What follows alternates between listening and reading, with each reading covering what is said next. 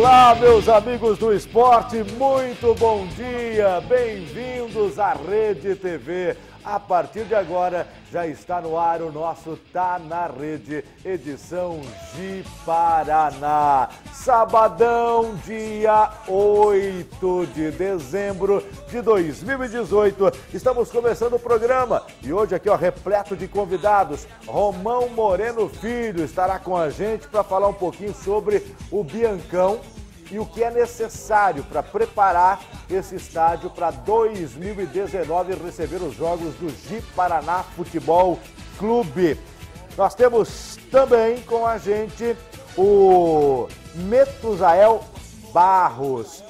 Ele foi medalha de prata no judô dos Jogos Escolares da Juventude realizado em Rio Grande do Norte, lá em Natal. Também com a gente, para dar aquele auxílio, aquele suporte, Paulo Oliveira. Paulo do Decom, a gente sempre chama dessa maneira, vai contar pra gente como é que foi o desempenho, o segundo melhor desempenho do estado de Rondônia neste tipo de competição. Também conosco o pai Babão, Caio Barros, o pai que treinou, né, o nosso vice-campeão dos Jogos Escolares, o pai que há 10 anos dá esses passos, e aí tem uma família toda de judocas.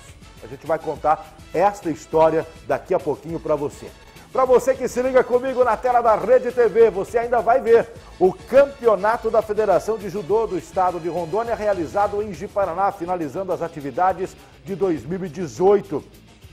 A Academia Estilos premiou os melhores do Karatê. O evento aconteceu no final de semana passado aqui em Ji, Paraná. Skate vai para Cuiabá, representando o estado de Rondônia. E os jovens cristãos que trabalham de uma maneira diferenciada, realizando eventos em prol da família. Daqui a pouquinho, todos os detalhes para você. Então, os nossos convidados estão apresentados, você é bem-vindo na nossa programação. 992-554272 é o nosso WhatsApp. Você liga, interage, participa. Tem notícias do Paraná, do Campeonato Rondoniense de Futebol Profissional que começa no dia 2 de fevereiro. Tudo a partir de agora só para você na tela da Rede TV. Eu vou para um rápido intervalo, volto já com os nossos convidados.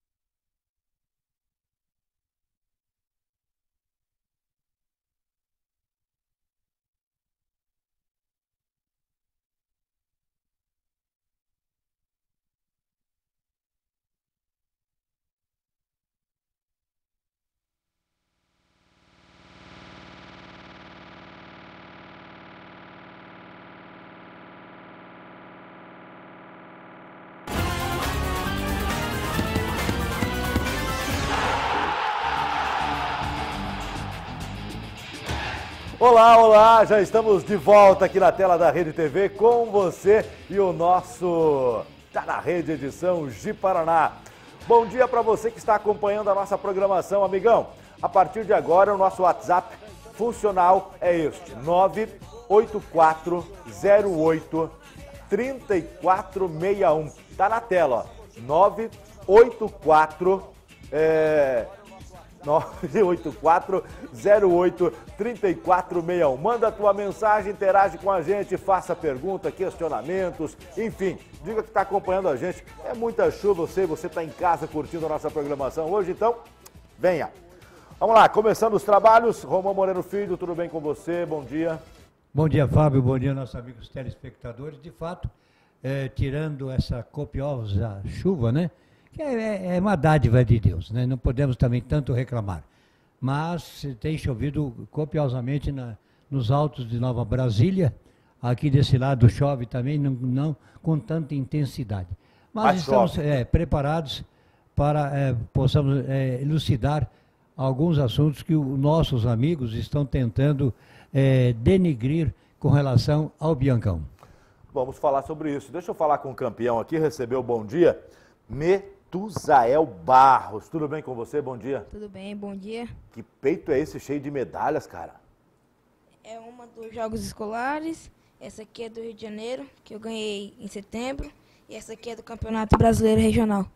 Campeonato Brasileiro Regional, Rio de Janeiro. E aquela de lá é dos Jogos Escolares. Essa é prata. Uhum. Ah, o que, que aconteceu? Não deu para chegar na, na final e encarar com mais vontade o, o, o, o adversário ou o adversário já estava com mais vontade que você? Eu cheguei na final, mas não deu para me ganhar. Ele tinha mais força e mais técnica. mais força e mais técnica. Quando que o adversário consegue reconhecer isso no outro? Eu, primeiro, pela altura que eu tenho, é meio desigual da minha categoria e pelo peso. Você é baixinho demais? Uhum. Você mede quanto? 1,40. 1,40 e aí fica mais, mais difícil. No, no judô, o que, que eu preciso? Eu preciso é entrar no adversário, né? Para procurar um espaço para é, queda. Ele. E aí fica difícil. Uhum.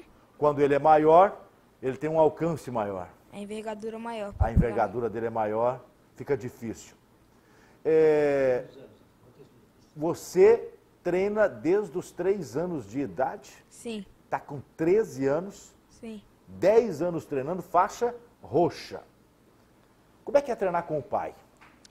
É difícil, né? É ele cobra mais? Cobra mais. e tem a rivalidade de jogar ele e ele me jogar. Ah. Olha. Quem tá jogando quem ultimamente? Ele deu uma parada de treinar esses tempos, mas ultimamente ele me joga. Ele? Uhum. Daqui a pouco a gente volta a conversar. Paulo, tudo bem com você? Boa tarde. Bom dia, né? Bom dia, bom dia. muito bom dia. Comigo está tudo muito bem, graças a Deus. E agradecer também a oportunidade de estar aqui no programa hoje, para a gente falar um pouco mais sobre os resultados bem positivos de Rondônia nos Jogos Escolares da Juventude. É o segundo melhor resultado do Estado? É o nosso segundo melhor resultado. Voltamos de Natal do, dos Jogos é, Nacionais com 12 medalhas. 12? 12. No ano passado nós tivemos o melhor resultado com 14 medalhas. Então a diferença está bem assim, equilibrada, né? A cada ano que passa, parece-me que o governo do estado de Rondônia, para seguindo uma orientação do COB, ele vai acrescentando novas modalidades. Esse ano foi acrescentado badminton e a luta olímpica. É, na verdade, o, o COB trabalha nessa competição com 14 modalidades. 14. 14. No ano passado, o Rondônia entrou com badminton. E esse ano entrou com luta olímpica também. Então nós fechamos, o Rondônia fechou todas as modalidades Estamos hoje com, com 14 modalidades. 14 modalidades. É, é. E, e, nós temos praticantes, porque inclusive essa semana nas redes sociais aqui em Paraná, muitos desportistas, o que é, como funciona, badminton. Nós temos hoje no estado de Rondônia, já inclusive foi realizado no GENS, que são os Jogos Municipais Escolares, depois no JOER, fase regional e nas grandes decisões, o badminton. Com certeza. Pela segunda participação de Rondônia no badminton, no, nos Jogos Escolares Brasileiros, né? Esse ano nós pegamos o melhor resultado em relação ao ano passado. E esse ano o badminton de Rondônia conseguiu assim A quarta colocação, Quarta na, colocação? na contagem geral. Para quem está praticando há, há Há dois, anos, né? Ano passado e para esse ano, há dois anos. Agora que nos surpreendeu mais foi a luta olímpica. Nossa primeira participação e já voltamos com a medalha de bronze. Isso é bom. Isso é maravilhoso, Maravilhoso. isso é fantástico, é fantástico. Deixa eu falar um pouquinho com o pai Babão. O pai Babão é Caio. Ô Caio, desculpa estar te chamando assim, mas eu acho que todo pai é babão. Eu sou pai babão, eu sou vô babão, né? Porque a gente gosta de ver os filhos, os netos sempre brilhando. E você tem aí um garoto e tanto, né? Há muito tempo treinando já, né? 10 É. anos. Essa competição agora, nem esperávamos uma medalha dele, que estava treinando menos. Aí foi lá, conseguiu ganhar quatro lutas e perdeu na quinta, na final. Você também é um lutador do judô? É. Comecei Quanto tempo? pequeno também. Tem 20 anos. 20? Desculpa a curiosidade, qual a tua idade hoje? 36. 36 anos. E há quanto tempo você é professor em médica? Há mais de 20? Médici Academia completou 10 anos. 10 anos e, e tempo todo de, de, de, de instrutor. Você está o que aí? 10 anos, 20 Não, anos? 20 anos dando aula. 20 anos dando aula. Como é que surge essa paixão sua? E você acaba contagiando a família, porque você me apresentou a esposa, apresentou filha, filho, todo mundo praticando. Na verdade, comecei com Taekwondo, em Porto Velho, onde Taekwondo. nasci. Mudei para Cacoal, não tinha. Aí fui rodando as artes marciais, encontrei o judô, primeira competição ganhou uma medalha e fiquei. Mas eu estou sabendo que você anda praticando também jiu-jitsu. Tem seis anos que especializamos no jiu-jitsu. Jiu-jitsu. Uhum. Aprimora a técnica quando eu consigo aliar duas artes marciais? Aprimora e aprimora muito. O jiu-jitsu se equivale ao judô, os dois são quase iguais. Muda muita regra de competição só. Só para nós, ninguém está vendo, Caio. Já começou a aplicar o jiu-jitsu também no O Metzael Metzael? tem dois anos que ele compete jiu-jitsu também. Tem medalha de jiu-jitsu. Aí, de repente, pode estar a diferença dessas medalhas no peito aí do campeão. Ajuda e ajuda muito. É. Como é que foi? Rio de Janeiro nós, é uma competição é, internacional, mais de 900 atletas participaram, você estava contando pra gente. Como é que foi chegar lá? A competição no Rio de Janeiro é a Copa Rio Internacional. Deu mais de 900 atletas. Esse trabalho foi feito durante a semana em Presidente Médici. O atleta treinando de segunda a sexta. Sexta noite viajava para Cacoal para treinar com a Amanda, nossa atleta, Atleta da referência. seleção brasileira, medalhista mundial, com o meu professor Nunes de Cacoal. E ele lá ele treinava sexta noite, três períodos no sábado e domingo de manhã. Os atletas da seleção brasileira que foram participar da Copa Rio treinaram para a Copa Rio e trouxe um ótimo resultado. Me diga uma coisa, em que momento está o pai no tatame? Em que momento sai o pai e entra o professor, Caio? Quando o atleta entra no tatame, na academia, ele entrou no tatame e já não é mais filho. E cobra até mais. É até errado às vezes, mas eu cobro mais. Uma pergunta, ele, em off nós conversávamos aqui, eh, diz ele que ele te derrubou muito no tatame, é verdade? Já treinou muito com a gente já. Derrubar ele tá quase conseguindo já. Ah, olha, tá quase. Eu pensei que ele não ia responder. Porque Ele falou, não, já treinou muito junto. Treinou muito, mas derrubou? Já derrubou já. Já. Mas a É intenção, Ipom que fala, né? Isso. Já te deu, deu muito Ipom no pai, então? a intenção Vazar. Vazare, vazare. Isso, a intenção do professor é, É. o, atleta passe ele. Isso, isso, é verdade. Entendeu? O professor tem que entender que o atleta ele vai ganhar dele. E eu espero que os atletas joguem mesmo. É lógico. Tem que jogar. É um treino, mas na realidade é uma disputa. Caio, e as mulheres da família? É só para defesa, para treinamento ou também para competição? Não, as mulheres da família esse ano foram campeãs do GI, adulto. Primeiro ano da, da, da filha, ainda é juvenil, ganhou Então, quer em dizer, tem Vilhena. idade para pelo menos mais duas A competições? esposa também ganhou o GI várias vezes, campeonato estadual várias vezes. Foi para os Jogos Escolares, a irmã dele com ele. Olha Ela só, também foi. que bacana. Família unida permanece no judô unida. É, eu acho que é a melhor coisa que Melhor tem. coisa ô- que tem, é. Traz uma, uma paz interior para a própria família, né? Eu peguei uma colinha aqui, mas eu vou deixar É. para o Paulo contar isso para gente. Paulo, posso ficar à vontade? Paulo, etapa, é, vai lá, então, ajuda a gente. Eu tenho algumas imagens que o Paulo trouxe, eu gostaria de começar a usar essas imagens assim que você tiver condições, Lulu, para a gente poder ilustrar aqui o nosso bate-papo com o telespectador, para que ele possa entender a importância disso para os jovens. Eu conversava também momentos antes de entrarmos aqui para o estúdio, que eu sempre trago comigo uma pequena revoltinha no coração, que é ver na vida escolar grandes talentos que se perdem assim que saem do ensino é, regular.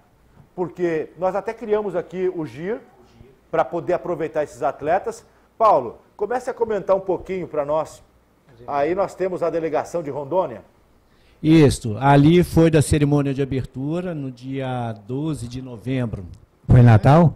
É Natal. Aí Essa é a cidade feia que vocês estavam. É, é esse, esse visual aí que a gente estava. Ali é o Morro do Careca ao fundo, a Praia da Ponta Negra. Essa foto foi registrada ali do Centro de Convenções de Natal. Fazer inveja para você, eu também conheço lá, tá? Ah, a Praia de Ponta Negra. Lá, né, muito, muito ah. lindo, né?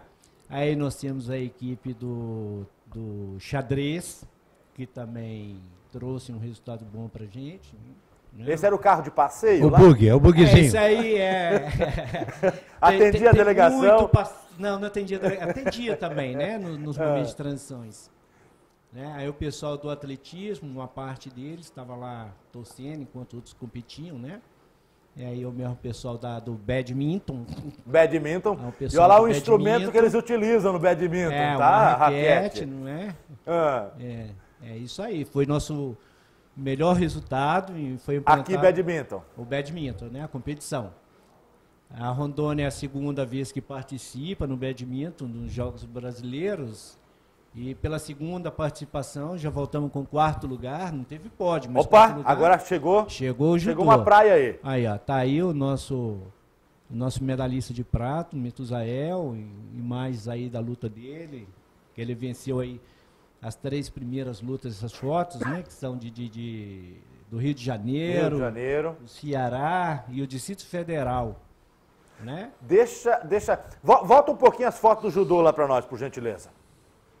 Metusael, olhando aí a, a foto, passa um filmezinho na cabeça, uma recordação? Passa. É? O que, que, que, que você recorda olhando essa foto aí? Eu recordo que eu quase caí aí e quase perdi essa luta. Ah, e esse quase, quase, quase, por quê? Estava preocupado? É, posição? Suou o pé? O que, que aconteceu? Nervoso. É? Era DF sempre foi um adversário bem forte contra mim porque ele faz o regional comigo. E ele tinha já me... conhecia o adversário? Já. Ele tinha lutado regional contra mim, tinha ganhado. E essa competição era o, era o brasileiro praticamente. Cara, eu fico imaginando o seguinte, se era bom para você que conhecia ele, era ruim também, porque ele também conhecia você. Sim. É, no futebol, a gente diz assim que o melhor técnico é aquele que conhece as fraquezas do adversário e com o seu time ele prepara para explorar isso. No judô também tem disso? Você acaba estudando um pouquinho teu adversário? Sim. Antes da semifinal, eu assisti a luta do, contra o meu adversário. Eu vi qual golpe ele entrava. Era a primeira vez que eu ia lutar contra ele. E você já, de alguma maneira, já tinha nos treinamentos previsto essa entrada de golpe, treinado isso? Sim. O ruim é quando a gente não treinou, né, cara? Aí treme mais ainda, não treme não? Treme. Ô Caio, nessa fase de preparação, conhecer, assistir um vídeo, isso pode motivar o atleta quando vai para o tatame ou acontece justamente o inverso, como eu estou falando aqui? Depende do atleta. Quando o atleta já está calejado, que nem 10 anos, e estava sendo transmitido as lutas ao vivo do Metusael. Uhum. Então eu estava acompanhando ao vivo, junto com a, com a mãe dele, professora também, uhum. as lutas dos adversários. Antes dele lutar, você já sabia? Eu, eu, gravei no celular em casa, em Médici, e já mandava a luta dos adversários que ele ia pegar para ele estudar lá. E já mandava o professor que estava acompanhando ele passar para ele. O atleta entra tal golpe que você vai lutar agora, que ele ganhou. Que não tem como ele ver, está na área de aquecimento. Então teve três lutas que de casa eu consegui auxiliar ele junto dos professores que levaram ele. Que foi o professor Massá, de Colorado, tem que agradecer ele o professor Haroldo, de Porto Velho, e o sensei Valdemar, de Alto Floresta. Acompanhou a seleção de judô. Romão Moreno Filho, estou te apresentando a tecnologia. O senhor que critica tanto o VAR no futebol, Olha só como é que fez a tecnologia, trazer uma medalha de prata para nós aqui no judô. Vamos analisar. Porque ó, eu estava assistindo Brasil e China, É. é, o Brasil no, no vôlei, o VAR deles Tá. funcionou a favor do Brasil. A bola pegou só a lateralzinha. E a regra é bem clara. Se ela bater um, um décimo da bola na, de- na linha, o ponto é válido. Aham. Aí foi. Veio a tecnologia foi, é. e deu Não, ponto. Mas o VAR, no futebol são tudo varba, vargabundo. Ah. Porque, pelo amor de Deus, rapaz, o que fizeram, o que fizeram com o Atlético Paranaense lá na Colômbia, na, no- na quarta-feira passada, no, na- no Campeonato Sul-Americano, é um absurdo. Um absurdo. Mas fazer o quê, né? Mas a tecnologia ela é sempre bem-vinda. eu Bem-vinda. acredito. E nesse caso, ela foi muito bem-vinda, né, Caio? Ajudou e ajudou muito. E- e- Já que, o assunto, já que o assunto é judô, É. nós tivemos aqui no final de semana passada a competição de judô. É tradicional aqui no município de Jiparaná. Vocês vêm participar também nela? Sim, esse ano a gente veio.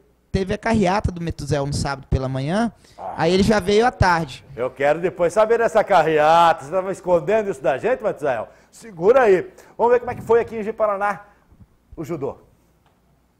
Na tarde deste sábado aconteceu no IFRA a 22ª edição do Campeonato Giparaná Clube de Judô. Então, mais um evento. Hoje a federação está encerrando o calendário dela aqui em Paraná com essa festa. Estamos aqui com 450 atletas, com 21 municípios participando. O judô foi incluso nas competições olímpicas em 1964 pela primeira vez em Tóquio, no Japão, ficando de fora na edição sequente em 1968 na cidade do México e retornando quatro anos depois, sendo praticada até hoje nos dias atuais. O judô é um esporte muito disciplinador, né? Como qual- qualquer é, arte marcial, né? E isso, é, isso ajuda, criança, ajuda a modelar o corpo, o adulto, né? Você ficar mais tranquilo. E, e aí também tem esses eventos, porque o esporte ele prepara a criança para o adulto, né? Para ele viver mais, não fazer mal para o próximo lá na frente. Então, o judô, como qualquer outro esporte é, é, a nível assim, futebol, é, de artes marciais, é tudo, disciplina, é tudo disciplina. Então, o cidadão tem que ter disciplina para não fazer o mal para as outras pessoas, né?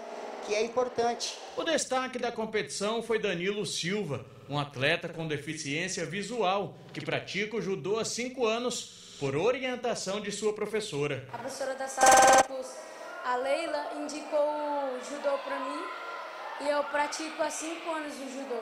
Danilo foi destaque na última competição dos Jogos Escolares Paralímpicos em São Paulo. E Danilo deixou o seu recado. Nunca pense que você não pode conseguir. Sempre tente. Danilo é motivação e orgulho para Oliveira, seu professor, que acompanha quase que diariamente. Danilo é o nosso exemplo de superação. É um menino que não ficou reclamando da vida, um menino que foi à luta com a deficiência visual que ele tem e ele não se entregou, treina desde pequeno, compete na categoria para desenvolver com os meninos que enxergam, mas a competição oficial dele é para cegos. É o judô para cego, que é o judô paralímpico.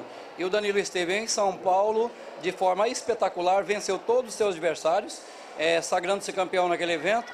E além do título, Danilo foi convocado para o mês de janeiro e julho para o treinamento pelo Comitê é, Paralímpico para estar em São Paulo em treinamento junto com a equipe brasileira. E Danilo, assim como qualquer outro atleta, sonha em fazer parte da seleção e disputar uma Paraolimpíada. Bem, Zen, eu, eu fico encantado com o esporte. Eu acho que é por isso que eu levanto essa bandeira há mais de 28 anos que eu milito na comunicação. Porque, além de tudo, ela é inclusiva, né? Ela inclui, ela traz, ela agrega. Verdade. O caso né? desse garoto olha o caso. é impressionante. Eu, eu me arrepiei quando vocês aqui, eu perguntei em off, né? Aham. Se ela é deficiente. E eu, eu- eu dou ênfase a palavras quando você vê um deficiente eh, físico ou me- mental ou próprio visual fazer o trabalho que faz esse garoto. É, essa- Nós temos o Matheus, que é o evangelista, é, é paralímpico, medalhista paralímpico, rapaz, lá de, da seleção brasileira, lá de Porto Velho, né, Paulo? É um cidadão, que nós temos que tirar, chapéu para esse garoto, né? É, não resta dúvida. Na verdade, para a Tá. gente é uma vergonha, né? Para a gente é, É, uma vergonha. Eu ia falar isso agora. Isso. Eu fico imaginando assim, Paulo. É, muita gente deixa de participar de uma competição porque falta o apoio, o, pa- o patrocínio. O patrocínio. A maioria das vezes tem o pai trocínio e o pai eu acho que representa o pai trocínio Isto. aqui. É, mas imagina, se para os réis mortais é difícil você conseguir o patrocínio, imagina quando você tem essa deficiência Alguma motora, deficiência, né? quando você tem essa deficiência intelectual, né? como é que é difícil você conseguir tudo isso. Hoje, e, e- e aí eu fico mais preocupado porque a partir do dia 1 de janeiro nós não teremos mais o Ministério do Esporte. É Nós complicado teremos- essa Hã? realidade. Não é essa Uma realidade? Muito complicado essa realidade. Exato, vai ter uma uma divisão. divisão Aqui no estado de Rondônia, hoje é superintendência. A partir do- de janeiro, estuda-se a possibilidade de virar uma apêndice da, Da. Secretaria De educação. de Educação. Educação. Então nós vamos perder ainda mais é, é, recursos para o esporte. Essas coisas não estão sendo discutidas, isso não foi debatido. E olha que o esporte ele pega de orçamentos do município, do estado e da União 0,5%, meio por cento. É bem pouco Tem mesmo. uma lei chamada Rouanet, né? Que tem uns que falam Rouanet. Rony. Mas É. certo é Rony. Rouanet. Rouanet. Ô, ô, ô, Romão, e essa, essa lei, ela incentiva a cultura, incentiva o esporte, e estão querendo agora, vão fazer uma devassa nela. É, mas só o pobrezinho do menino chamado Roberto Carlos pegou só 6 milhões da, da lei Rouanet. Esse é o grande problema, Quer porque- saber Esse por é o quê? grande problema, porque não É, Porque é cultura e esporte, ela só chega na cultura. É um garotinho Só que chega ninguém para quem não conhece. precisa Pra muitas quem- vezes. exatamente. Para quem não Só precisa quem não muitas precisa. vezes. Então, isso realmente nos faz é, é, é, falar aqui é, muito revoltado com relação a isso. Modalidades coletivas. Em Manaus, nós fomos, que agora regionalizou, né? Coletivas, tem uma fase regional primeiro, Paulo? Isso, tem. Os Jogos Escolares da Juventude, ele é organizado pelo Comitê Olímpico Brasileiro. Então, é o COB que dá as diretrizes. Vai ser assim, vai ser assado. E a partir desse ano, 2018, o COB fez uma reformulação. Né? E nessa reformulação, ele dividiu o país em regiões. E nessas re- eh, regionais, os estados disputaram as competições das modalidades coletivas. Certo. Então, esses campeões da- dessas regionais é os que foram para a Nacional em Natal, né? No nosso caso de Rondônia, Rondônia, nós a tivemos nossa o regional, é, a nossa regional Aham. envolve todos os estados da região norte, mais o Mato Grosso e mais o Distrito Federal. Já pega uma competição Já pesada pega, já pega um nível alto de, de técnica de muitos atletas de várias modalidades, né? Aí nós tivemos, então, nessas modalidades, ouro no voleibol infantil masculino com a Escola Graciano Ramos de Cacoal. Nós tivemos bronze no basquete infantil feminino Colégio Dom Bosco Porto Velho. Repetiu o Colégio Dom Bosco bronze no basquete juvenil feminino. Bronze no futsal infantil masculino com o Instituto Maria Auxiliadora de Porto Velho. Bronze no voleibol infantil feminino com a Escola Maria Arlete de Toledo, que é de Vilhena. Vilhena hoje está com, contávamos aqui, duas quadras exclusivas para treinamento de vôlei. De né? voleibol, É. né? Bronze no infantil feminino, handebol, Escola Castro Alves de Cerejeiras. Na etapa nacional dos Jogos Escolares da Juventude, nós tivemos aí todas as unidades de 12 a 16. Aqui é anos? 12 a 16 anos? Como é Não, que é? aí são datas. Datas. Datas. Nós tivemos ciclismo. Ah, tá. Vamos, passamos para cá. Ouro e bronze no ciclismo. Orlando Neto, Escola Ricardo Catanhede de Ariquemes. Prata e um bronze no atletismo. Jarley Coelar, da Escola Joaquim Pereira da Rocha, Machadinho do Oeste. Uma prata no judô. Está aqui o nosso Medalhista. medalhista, Metusael. né? Metusa- Metusael Barros, da Escola Carlos Drummond de Andrade de Presidente Médici. Um bronze na luta olímpica, o Tiago Oliveira, e aí o resultado surpreendente, Surpreendente. muito surpreendente. Muito Escola surpreendente. Marcelo Cândido, lá de Porto Velho. Outros resultados: quarto lugar no badminton, quinto lugar na natação, quinto lugar no xadrez, sétimo lugar na ginástica rítmica juvenil e oitavo lugar no tênis de Uma mesa. pergunta, quantas Aí, delegações? mo- Mostra aí, mostra o pódio para nós, mostra o pódio para nós. É, esse pódio aí é o, é o do Jarley Coelar, né? É Jarley. a prata, essa Aham. prata ele conquistou no salto em distância, Ele é da categoria infantil, que é de 12 a 14 anos. E esse rapaz, foi a primeira medalha dele né, nos Jogos Brasileiros, mora em Machadinho do Oeste. Um fato muito curioso eu gostaria de ressaltar aqui, que lá na cidade dele, ele não tem caixa de areia para treinar. Como é que ele treina? Não sei. Eu sei que o rapaz, o menino, o garoto, assim, ele colocou na, no coração dele, na mente dele, eu quero subir no pódio, eu quero ser medalhista, né?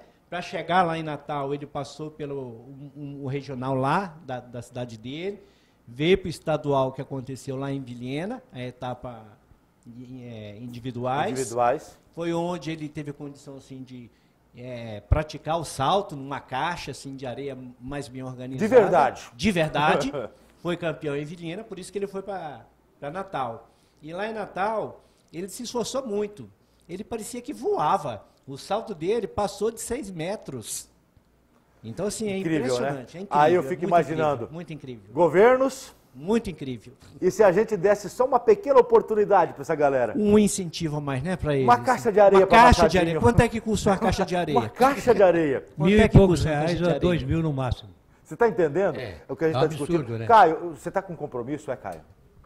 Tem que ir embora. É? Ele mora em. Médici. Ele mora em média, Médici, rapaz. logo ali. Ah, Logo ali. Ô, Caio, eu quero agradecer essa disponibilidade que você de trazer toda a família, de trazer esse campeão para que a gente pudesse falar um pouquinho dele, tá? Qualquer dia desse a gente vai fazer uma visita lá na tua eh, academia para que a gente possa contar um pouco mais em matéria o que você faz, os sofrimentos e as lutas do dia a dia que você tem, as barreiras, né, que são sempre ultrapassadas. Muitíssimo obrigado, viu? Eu que agradeço a vocês pelo espaço cedido para o esporte em geral, né? Que a gente discutiu vários esportes aqui, várias medalhas. Se tivesse apoio, que nem está falando, ainda mais que essa lei que saiu agora, a gente sofre lá em Médici, que não tem secretaria de esporte, o dinheiro que vem para o esporte fica na educação e na cultura. E ponto. E ponto. Metusael, esse ano, nada de ajuda de ninguém. Então Difícil, né, Caio? Foi ele mesmo. É o patrocínio. Agora entrou com o pedido do Bolsa Atleta dele, eu acho que vai ajudar mais ele pelo resultado. Que é um incentivo do governo federal já. Agora Rondônia, esporte nosso, incentivo. Difícil, né? futebol, os outros é muito É difícil. muito difícil. Ô, ô, ô, ô, Caio, eu quero imensamente agradecer você, então, por essa, toda essa disponibilidade e pela dedicação do, do, do esporte. Eu fico, eu fico sempre imaginando isso.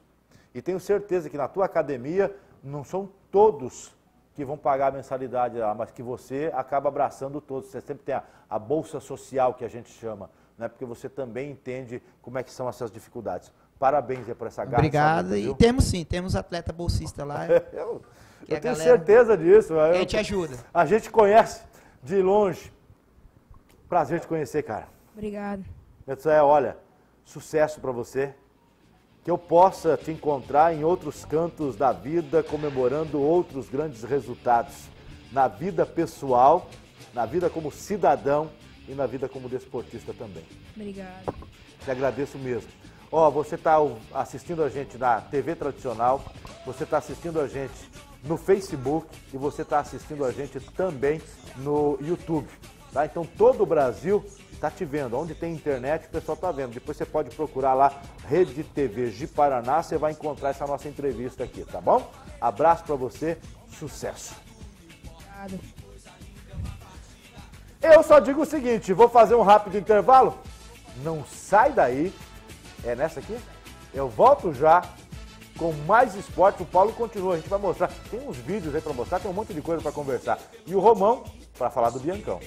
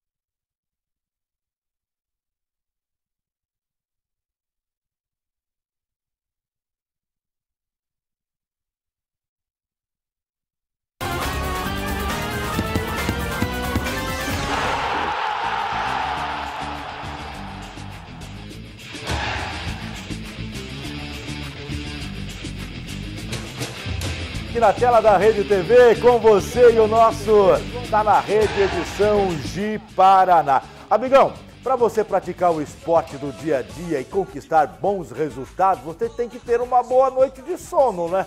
Se você não consegue dormir direito, como é que você consegue render no dia seguinte? Vamos falar um pouquinho da Probel? Tudo Sou bem? Zelina, tudo ah. bem? Sou Zelina, nós estamos abrindo a Comfort Center na Marechal Rondon, bairro 2 de abril. Na próxima quarta-feira agora? Nesta, do, dia 12. Dia 12? Dia 12, nesta quarta-feira. Estamos aqui convidando todos de Paranaense a os arredores, né? Uhum. Para que venham nos participar da nossa grande festa, né? Essa grande festa. E começa que horas? Abre logo cedo? A partir das 9 horas, a né? A partir das 9 horas, aberto. aberto. O que, que você vai mostrar na tua loja? Rapaz, conforto e qualidade. O que nós temos a oferecer ao nosso cliente.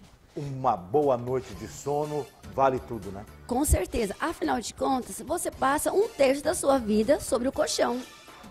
E quando você não dorme bem o seu dia, você já sabe o resultado. Ah, desse, não, né? não é legal. Não é legal. Fala um pouquinho pra gente. Aí eu estou aqui, deixa ah. eu só apresentar. Estou aqui com o Adriano, representante da Probel. Né? Então agora, Adriano. Adriano, fala pra gente da Probel. Boa tarde. Boa tarde. Então, a gente é representante do Probel, vemos aí os colchão Pantanal, onde a gente tem um orgulho de falar do colchão Probel. Por quê? Vou falar um, um pouquinho, rapidinho assim. Esse ano, novembro, a gente ganhou na revista Época, né, vocês puxar, o prêmio de como o melhor cochoeiro, melhor cochoeiro do ano. Do ano. Do ano. Então é, esse, é essa qualidade que vem para a Paraná um, a partir da próxima quarta-feira. Aqui em Paraná não tem uma loja só de colchão Probel. Hoje estamos aí com a nossa parceira Comfort Center, aqui em Paraná, onde a gente está fazendo um grande trabalho. A gente vai estar tá ali no dia também, na quarta-feira, a partir das 9 horas, junto com a equipe da Comfort Center, fazendo lá apresentações dos produtos Probel. O, os produtos Probel vem o quê? O colchão, quais são, quantos tipos de colchão tem? Hoje a Probel tem um leque muito grande, são mais de 800, 800. itens, assim, itens. opções. Uhum. Lógico que a gente não tem, assim, a Comfort Center não vai ter como trazer todos ali no dia. Mas, Mas assim, decorrer do tempo, vamos estar ali com todos os com produtos. Com todos esses produtos. Exatamente. É, fala um pouquinho desses itens aí. O que, que nós teremos gente, então na quarta-feira? Hoje, então, na quarta-feira, eles vão estar lá com colchão, cabeceira, recamier, o conjunto completo, né? Conjunto completo. Exatamente. Para aquele o... conforto dessas oito é quem... horas de sono que Exatamente. deve ser realmente quem... a melhor da nossa vida. Porque sim, o sono é tudo para nós hoje. O sono é saúde. Você está falando de saúde. Se dormir bem é saúde. Então você tem que dormir no colchão Probel. Eu quero até convidar você que está em casa, amigão. Não tenha pesadelo não. A partir de quarta-feira vá para o lugar certo. Sono perfeito Tá aí, ó, pertinho da gente. Comfort Center. Comfort 2 de abril. Estamos aguardando vocês. Eu, eu da quero. Marechal. Na Marechal Rondon, no 2 de abril. Fala, Tá ali no 2 de abril, em frente à Casa da Lavoura. Simples, do lado da Pemasa. Pronto, olha só. Onde Precisa era... nem GPS para chegar lá. Não. Ao lado da Casa da Lavoura, perto da Isso, Pemasa. antiga pertinho. Macarone ali. É fácil mais. Né? Abraço para vocês, viu?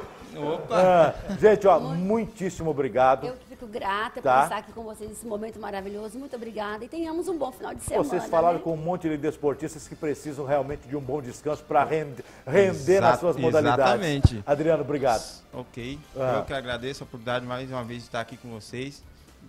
Estamos aí. Estamos aí então, porque deve vier. Ó, gente, para você receber o, o, o, o, o prêmio de melhor do ano, você tem que estar num colchão Probel. O pessoal é, da, do Karatê fizeram isso. Na semana passada, no último domingo, realizaram em Jiparaná entrega para os melhores do ano, que você vai ver já já, depois do Felipe trazer o recado para a gente do Alto Posto T14. Conta aí, Felipe! Para você ligadinho na programação da Rede TV, dá um recado de economia na hora de abastecer seu carro, sua moto ou seu caminhão. Vem você também abastecer aqui no Alto Posto T14. Alto Posto T14, aqui na T14, esquina com 94. Aqui você vai encontrar gasolina de confiança e preço justo para você. Profissionais qualificados para cuidar muito bem do ou do seu caminhão, na hora de abastecer, você vai encontrar aqui no Alto Posto T14 furou o seu pneu, você não sabe onde ir? vem para o Alto Posto T14, que tem borracharia anexa aqui para você e com certeza tem uma equipe preparada para atender muito bem você na hora do aperto. Agora, você que gosta daquele refrigerante, daquela cervejinha, daquela bebida gelada, você vai encontrar também variedade em bebidas aqui na conveniência do Alto Posto T14. Tudo isso e muito mais para você, cliente amigo. Então vem você também abastecer aqui no Alto Posto T14, que aqui com certeza você vai encontrar profissionais qualificados e uma gasolina com procedência e qualidade para você. Tudo isso e muito mais aqui no Alto Posto T14. Muito bem, valeu Felipe, aquele abraço para você. Vamos mostrar o Karatê então e os nossos campeões 2018. Os melhores foram homenageados no último final de semana. Na tela da Rede TV para você agora. No último domingo, a Federação de Karatê, através da Academia Estilos, homenageou os karatecas destaques do ano. O evento aconteceu na Chácara Peixer, em Ji-Paraná. Graças a Deus a gente vem numa crescente e os resultados vão, aparecendo e com isso a gente está conseguindo fazer um, um, um, papel importante, premiando esses atletas, né? dando uma motivação para eles, para que eles sempre tentam buscar o seu melhor. Então isso já, já vem já de uns, uns dois anos para cá que a gente está fazendo esse, essa premiação dos melhores do ano, no final do ano, e isso mostra a nossa, a nossa satisfação em sempre privilegiar os atletas né, e motivar eles cada vez mais. Realmente, hoje nós estamos orgulhosamente realizando esse evento que é Melhores do Ano do Karatê Esportivo, pela Federação Rondoniense de Karatê Esportivo. E é um evento que vem a somar e vem a premiar os melhores atletas ranqueados no estado do Karatê Esportivo. Entre os homenageados estava o pequeno Eduardo Fabre, na categoria fraldinha, Amanda Santos e também Dandara Soares. O karatê ele sempre teve presente na minha família, minha mãe e meu pai fazem karatê desde sempre, se conheceram no karatê e aí eu sempre fui colocada nesse meio desde pequena e sempre competi, né? Desde sempre o karatê para mim ele não é só um esporte também, como uma filosofia de vida, porque ele ensina disciplina, caráter, além de um exercício físico. Eu comecei com karatê, eu tinha 10 anos, hoje estou com 13, é, faz 3 anos. É, fui convocado os 3 anos para ir brasileiro, mas nunca fui, por de recursos e tal. Isso. Outros campeonatos que eu fui, é, subia de categoria, trazia bronze acima, mas trazia. E hoje recebendo esse troféu aí, os melhores do ano. Sim, primeiro ano recebendo o troféu dos melhores do ano. O professor Agnaldo Souza destacou o crescimento da modalidade e os resultados obtidos em competições nacionais. Realmente, né? o esporte é uma ferramenta hoje de trabalho com jovens, crianças, e vem crescendo muito, principalmente o karatê, devido à disciplina que o atleta, que o praticante tem quando pratica o esporte. Além da solenidade de homenagem, foi servido um delicioso almoço e também atividades recreativas, já que o evento contou com a participação de atletas de vários municípios do estado de Rondônia. De celebrar esses resultados. E observe mais uma vez: esporte individual. Você viu que a menina falou? Ah. Eu não pude ir dois anos sempre porque não tinha patrocínio. O que nós acabamos de falar de agora. Falar, falar judô, aconteceu isso. Eu acho que a síntese, a síntese do é programa hoje isso, né? é essa, né, Paulo? É a falta, de repente, do apoio institucional e também do apoio é, das empresas poder linkar a sua marca a uma coisa que é de qualidade, o esporte. Com certeza. É, é, do meu ponto de vista, assim, do ponto de vista comercial, os empresários, eles perdem, né, deixam de ganhar com a exploração de imagem, de, de apoio ao, ao desportista. Nós temos um caso, por exemplo, aqui, vamos citar a judoca lá de Cacoal, Amanda, Amanda. Reis. Hoje, ela, ela começou no Joé, nos Jogos Escolares de Rondônia, foi para o Nacional e tal. E hoje ela já entrega, integra a seleção brasileira de judô. De judô. É, de é judô. É, Aí, é só um exemplo, né? Que, se que tivesse tá um patrocinador? Se tivesse um patrocinador, né? Onde é que essa menina tinha chegado? E aonde que essa marca teria Onde é que essa marca teria ser citada? É. Você está entendendo? Gente, falando em marca, vamos lá para mais marcas na tela da Rede TV. Eu vou trazer rapidamente o nosso intervalo. Ó, estamos mostrando algumas dessas marcas né, que aconteceram lá em Rio Grande é, é, do, Norte, do Norte, Natal, né? atletismo. Ó, aí podia estar a tua marca, se você está patrocinando. Pode ir passando essas fotos. As imagens. Olha aí no ciclismo. ciclismo. Podia estar a tua marca. Mais ainda? Tem aí mais. o ciclismo, Teve uma medalha, ressaltando aí o ciclismo, nós tivemos duas medalhas. Duas né? medalhas duas. Com o mesmo atleta. Então o patrocinador dele, ó, com o mesmo atleta duas exibições. Olha isso. Né? O salto, né? O salto, altura. o atletismo do estado de Rondônia. E quando eu vejo o atletismo, você vê, o cara fica. Não tem uma caixa de areia para treinar. É o fim do mundo. E é, e é campeão e é medalhista. E é Par de medalhista. tênis pra É. poder. é, Não, é, e, e o fato curioso é que ele pegou essa medalha de prata lá no, no salto de distância, né? Na, na areia lá. E ele pegou um bronze também. na velocidade, 75 metros. Ah, pegou bronze. Então. Pegou bronze, Olha só, também, o mesmo duas atleta. medalhas com o mesmo atleta. O mesmo atleta. Eu vou fazer uma paradinha, Vai levar o. Juninho lá, viu? Volto já já.